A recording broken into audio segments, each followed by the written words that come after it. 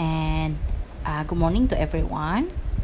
So today, Teacher Azwa will continue to lecture on chapter 4, periodic, table of element. Okay, so today, uh, teacher will um, explain to you guys from 4.1 until 4.3 okay so 4.1 the development of periodic table of element and then 4.2 the arrangement in the PTOE and then 4.3 teacher will continue with element in group 18 okay so guys are you ready Alright, so the development of the periodic table of elements. Okay, so you guys must be wondering who are responsible to uh, find out about element and then how the element was arranged in the PTOE.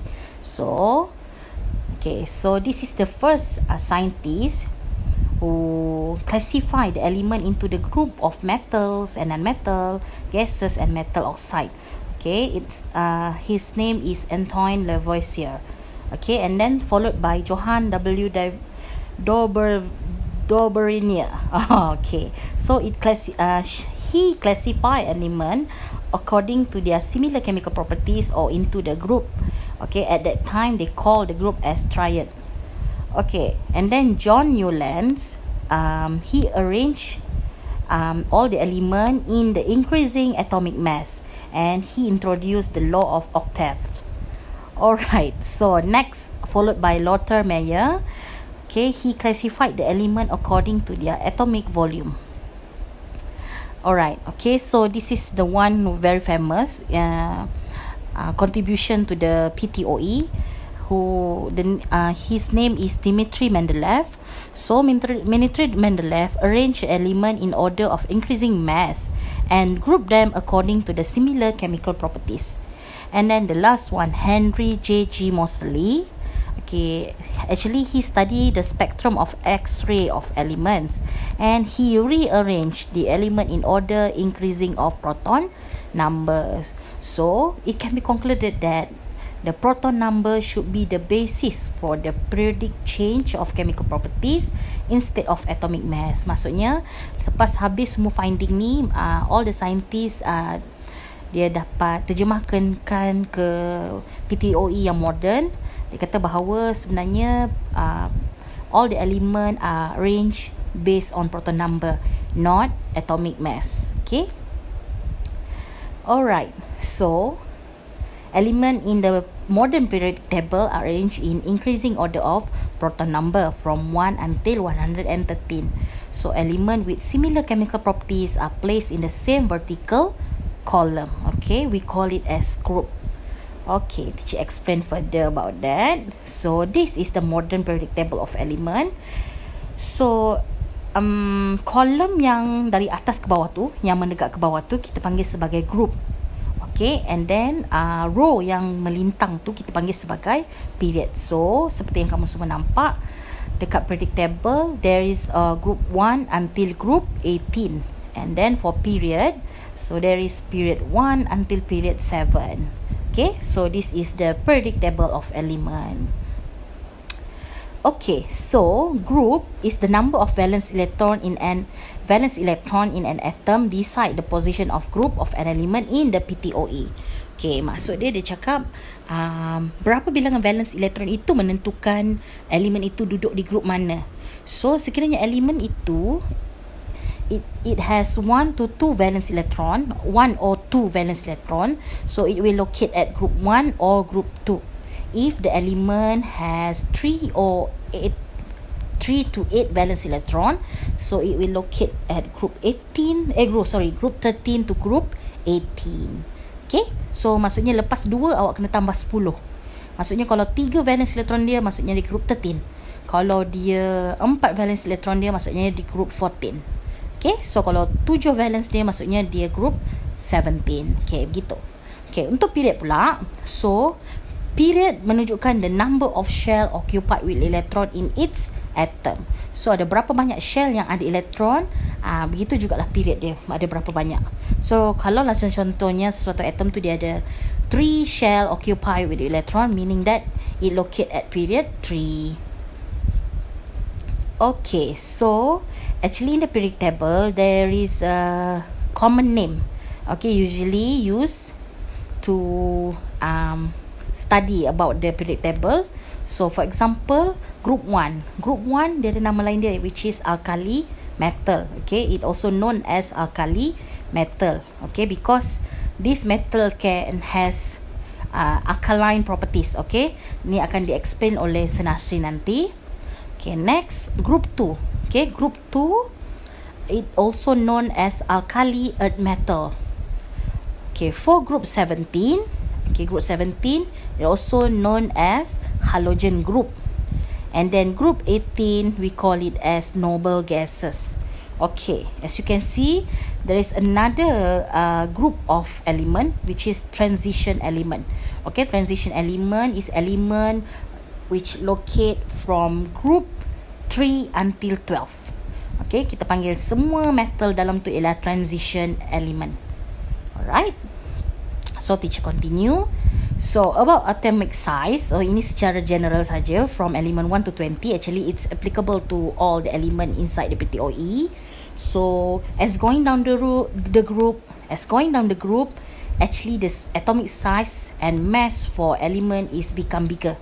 Okay, it can, okay, dia akan become bigger but across the period okay the size becomes smaller okay atomic size become smaller so nanti bila teacher explain more about uh, group okay each group kamu akan faham lah kenapa uh, bila makin ke bawah size makin besar bila makin across the period dia akan makin kecil okay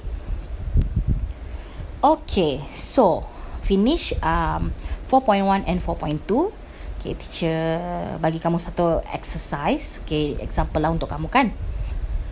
Okay, so based on the diagram, okay, as you can see, this is uh, sodium atom. Explain the position of sodium atom in the periodic table of element 5 marks. Okay, soalan macam ni boleh keluar dalam essay. Okay, dia boleh keluar dalam essay, dia juga boleh keluar dalam structure. Okay, so senang saja. Jangan kamu terkejut walaupun dia lima markah. Sebab mudah saja untuk jawab AC Chemistry. As long as kamu tahu dia punya konsep. Okay, so... Um, firstly, untuk kamu tahu position of any element in the PTOE, you have to know the electron arrangement for that particular atom.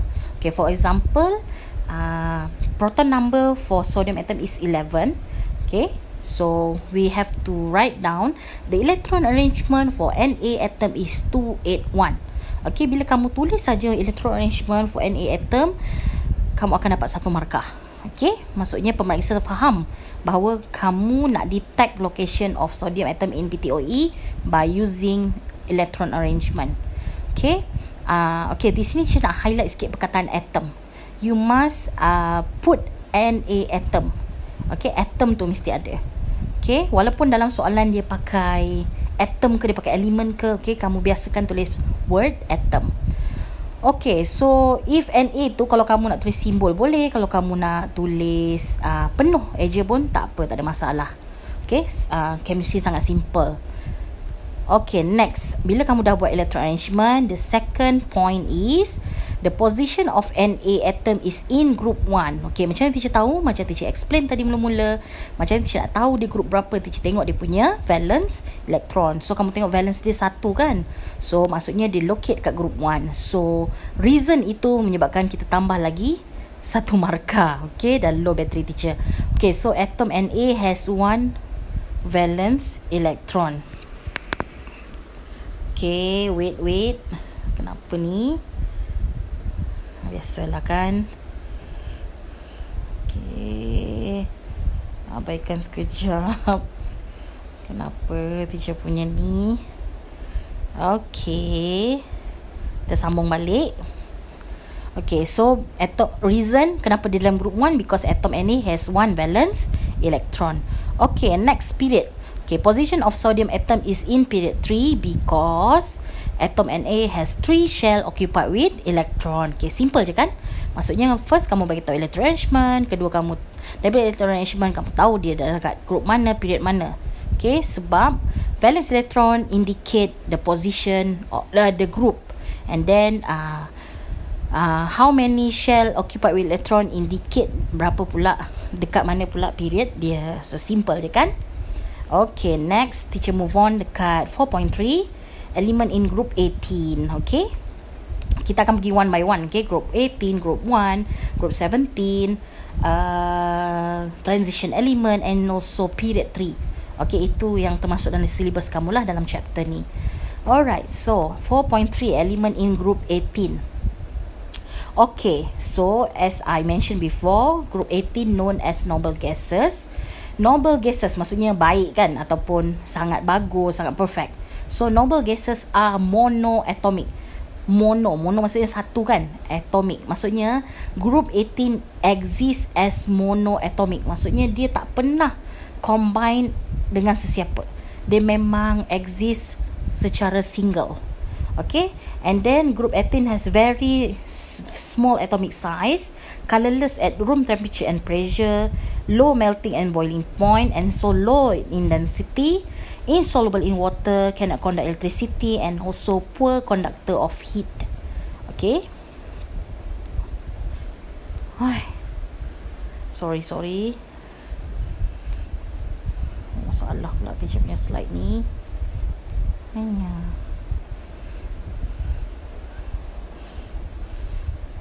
Okay. Next, element in group 18 macam kamu nampak helium, neon, argon, krypton, xenon and radon. Okay.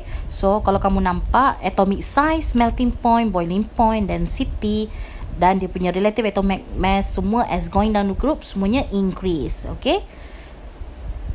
So why atomic size increase going down the group? from helium to radon because the number of occupied shell in the atom increase from helium to radon. Maksudnya daripada helium sampai radon, dia punya dia punya shell dia bertambah, maka atomic size dia pun bertambah. Okay, increase. So why melting point and boiling point increase from helium to radon? Because since the atomic size of each element increase down the group, the force of attraction between atoms, okay, between um, group 18 atom, uh, become stronger. Maksudnya force antara satu atom dengan satu lain become stronger.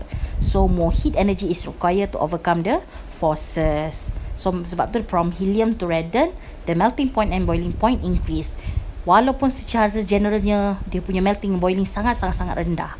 Okay, but still from helium to radon, dia punya melting and boiling increase. Okay, so the density of element increase. Okay, sebab disebabkan atomic size increase, of course lah density dia juga akan increase. Okay, so this is the electron arrangement for group 18.